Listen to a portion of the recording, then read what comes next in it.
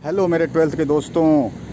राजस्थान के शेरों और शेरनियों, आपके लिए मॉडल पेपर जारी कर दिया गया। 2021 का आज ही, अभी के अभी।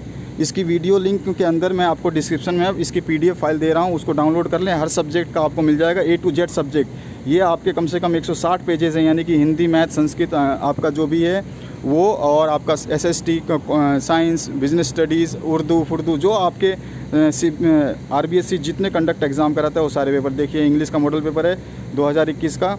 इसी तरह से हिंदी का ऊपर था सेक्शन ए में कैसा आएगा, कैसा पैटर्न रहेगा, सब कुछ इसमें आपको मिलेगा। और इनके सोल्यूशंस देखने के लिए इसी चैनल पर बने रहिए।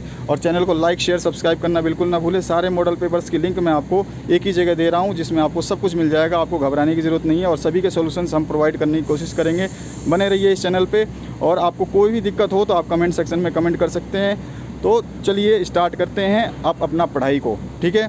तो आप सभी के लिए बेस्ट ऑफ़ लक और बने रहिए इस चैनल के साथ में, आपको सोल्यूशन यहीं मिलेगा।